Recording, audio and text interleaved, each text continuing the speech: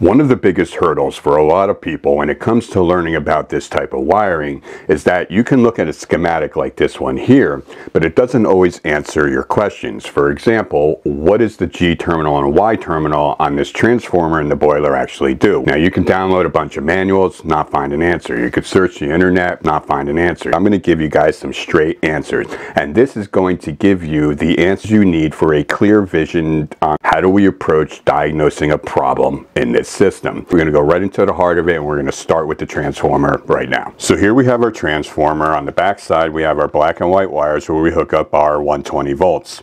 The R terminal is where the power originates on our low voltage control system. So all of these other terminals, none of them are powered directly from the transformer itself. It's just the R terminal that's powered. Now, when you do have power at any of these other terminals, it's coming from here. It's just going through the circuit and coming back. So everything starts right here. Now, when you look at the schematic, you're going to see two wires coming off of that R terminal, and that's what I have right here.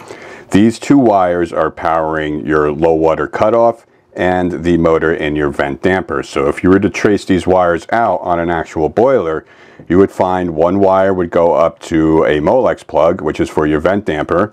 And if you were to trace the other wire, I have it all bundled up here, it would go into a Molex plug right here that goes into your low water cutoff. The 24 volts provided by your R terminal on the, on the transformer, when it gets to the low water cutoff, this is the voltage that's going to go through all the safeties in your circuit until it eventually gets to the gas valve. So that's going to be the spill switch, your Pressuretrol, um, your vent damper, and everything else. Now, if you were to look right on the board here next to this Molex plug, you're going to see 1, 2, and P2 written there.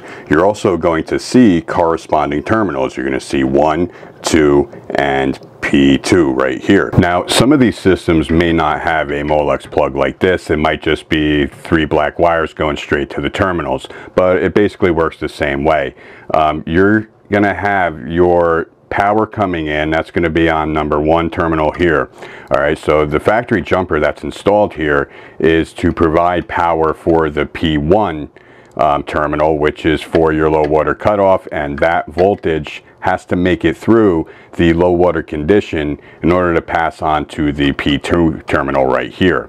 And that P2 terminal will come back out the black wire and it goes to the G terminal on the transformer.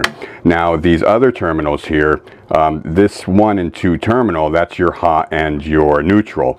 Um, so that one of those wires will be your neutral coming back and that actually goes to the C terminal on your transformer or the common. Now in a low water condition, you're going to have power on P1, but you're not going to have power on P2 because the low water condition interrupts that circuit. But you will have power on the A terminal here.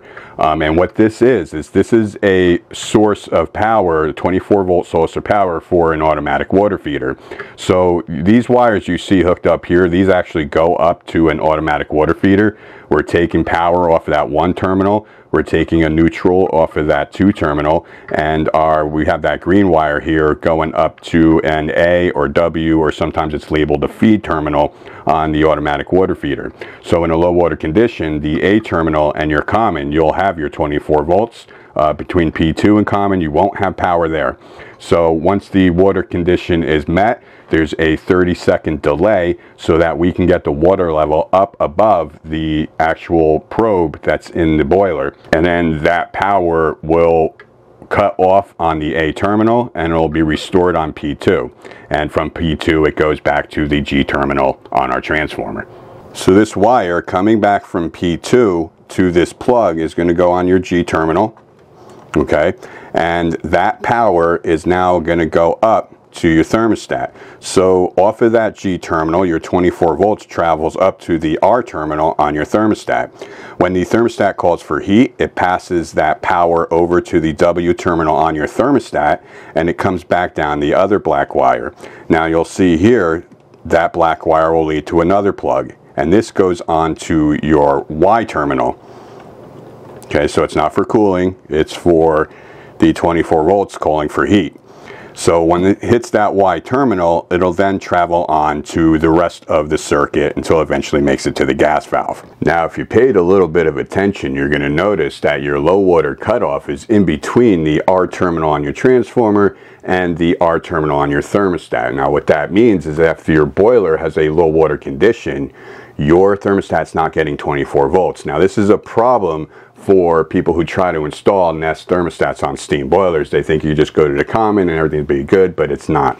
Um, this low water cutoff interruption is going to cause problems with those kinds of thermostats and you're still going to have power problems. So going back to our Y terminal, we have our black wire coming in from the W terminal on our thermostat right here, and you'll have another black wire coming off of that. And when you trace that out, you will come to your spill switch on your flue. Now what this is, this is basically just a temperature limit. If your flue, for example, let's say it was clogged up, there was something blocking the chimney, um, your vent, your flue pipe will actually start to heat up and trip this sensor off so that we don't continue firing up the boiler and filling the house with noxious gases. Um, so this kind of prevents that. That's a safety. So once that temperature is below this set point on here, it will continue on with the other black wire coming off of it. And when we trace that out, it brings us to our Pressuretrol. So we have two settings on this Pressuretrol. We have a cut-in setting and we have a pressure differential setting. Now the cut-in pressure setting is the setting or the pounds in PSI that the boiler will fire up once it meets that setting. So for example, if we have a pressure setting of one pound. When the steam pressure on the system reaches one pound, your boiler will fire up. Now your pressure differential setting, you'll see numbers on this dial here. It goes one, two, three, and so on. Now what this is, is this is your cutout pressure, uh, but it's not exactly what the number is. It's this plus your cut-in pressure. So if this is set to 1, your cut-in pressure is set to 1. Well, um, you add those two together and your cutoff pressure is going to be 2 pounds. If you have a half a pound on this and your differential is set to 1, your cutout pressure will be 1.5 pounds. Now I can make an entire video on how these pressures are supposed to be set. It depends on the piping in your system. It depends on how many fittings. It depends on how long the runs are, whether it's a counterflow system or a two-pipe system and so on. But generally, you don't really need more than 2 psi in residential applications. If it's set much higher than that, um, either somebody's been screwing it with it who shouldn't have, or they're trying to overcome a problem uh, with a temporary fix and the excessive pressure is just going to end up causing more problems down the road. So when the boiler pressure reaches that cut in limit, it's going to complete the connection between that wire that's coming from our spill switch and the wire that leaves the Pressuretrol. And when we trace that black wire from our Pressuretrol, it's going to come to two yellow wires, which will go to our flame rollout. Now this is down by the burner front and uh, this is another safety. If the flame starts to roll back out of the boiler when it shouldn't, this will cut that circuit off and the boiler will not be able to fire. From this here, it goes to your damper. And this brings us back to our Molex plug and it comes back out the blue wire here which is the connection that goes to your gas valve. Now, we don't have a control module or a spark ignition on this arrangement we have here. What we have is a standing pilot boiler. What that means is that there's always a pilot light lit underneath the boiler, and if it ever goes out, you have to manually relight it. Now, there's one more hurdle for the gas valve before the system will actually fire up and that is your thermocouple down by the pilot flame.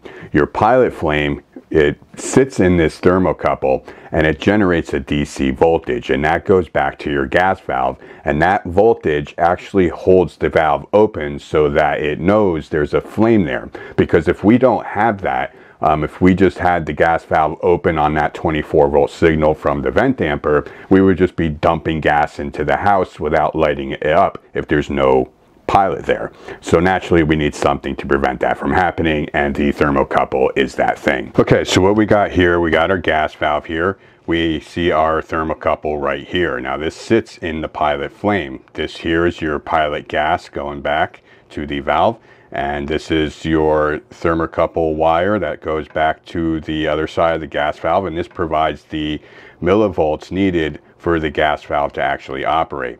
So what you would do if you needed to test this, um, you would actually have to disconnect this here, your thermocouple. All right, you would put your alligator clips on here, set your multimeter to um, DC voltage. Uh, you connect your other probe to a ground source and you would actually have to put this on pilot, hold the pilot button down and light the flame. And you have to keep the flame lit until you start getting a reading on this in millivolts. Now you're looking for at least 25 or 30 millivolts for a valve to actually operate. Um, if you have a good thermocouple, it'll probably be higher than that. But if you're not getting that, then either the thermocouple needs to be cleaned, um, which is something you can actually try first, or it needs to be replaced. Um, if you have the millivolts here that you need and you have the 24 volts coming in on that wire from your vent damper, then your problem is somewhere inside the solenoid and it needs to be repaired or replaced.